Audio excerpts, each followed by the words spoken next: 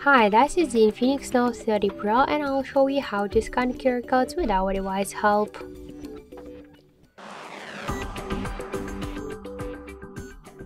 So we should first open the control panel and find here the scan QR code icon. Just tap on it, click to while using the app, try it now and now we should place our QR code inside of this frame. So let's just do this.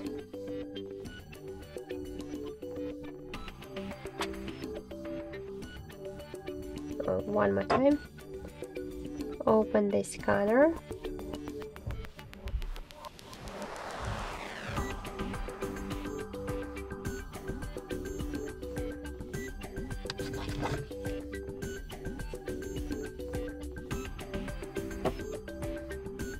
Wait a second.